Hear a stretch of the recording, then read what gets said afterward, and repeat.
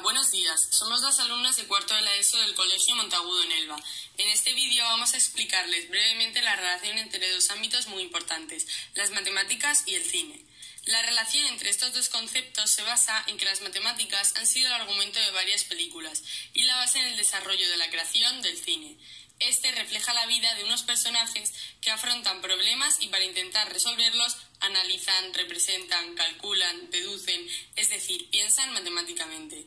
Todo el concepto del cine proviene de la antigüedad, de las sombras chinescas que aparecieron en el siglo XIV. Estas fueron sucedidas en 1865 con los hermanos Lumière y el cinematógrafo, y crearon la primera película.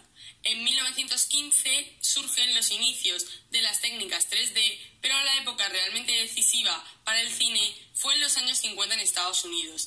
De esta forma surgió el cinerama, inventado por Fred Waller en 1952. ¿Existe un número capaz de captar la atención del ojo humano? Sí, así es, y es el número phi. Este número es el cociente entre A y B. Los griegos, que fueron los primeros que lo descubrieron, lo aplicaron en su arquitectura para lograr diferentes proporciones. Y estas proporciones también las podemos ver en el ser humano, entre las falanges de los dedos, o en las máscaras que se crean para la animación en los cines. Pero ¿cómo puede un número influir en nosotros? Muchas marcas utilizan esta capacidad de atracción al ojo humano para utilizarlas en sus, eh, en sus símbolos. ¿Cómo es posible?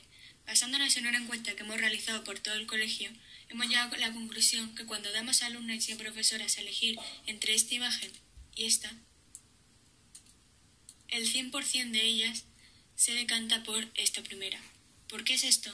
Porque cumple el número phi, ya que la anchura entre la altura da 1,61. El número phi tiene una representación gráfica, que es la espiral de Fibonacci, y se utiliza para definir distintas proporciones. ¿Existe un número capaz? Para mover los personajes de animación se basan en la traslación, utilizando coordenadas. La variable x describe el movimiento de los objetos hacia la derecha y la variable y describe la altura. A la hora de formar los cuerpos se utilizan formas geométricas. En el caso de la mano de Gary, esta se creó con esferas y cilindros. Pero para poder trazar curvas suaves y para que quedase uniforme se llevaron a cabo los siguientes pasos.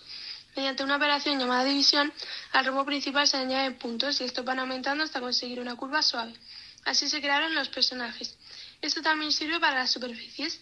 Se vuelve a realizar la misma operación hasta conseguir superficies planas y suaves. Y se utilizó por primera vez en el corto de 1997 el juego de Gary. En sus manos se utilizó por primera vez la subdivisión. Este es un ejemplo de la mano de Gary antes y después de la subdivisión. Desde entonces todos los personajes han sido creados así.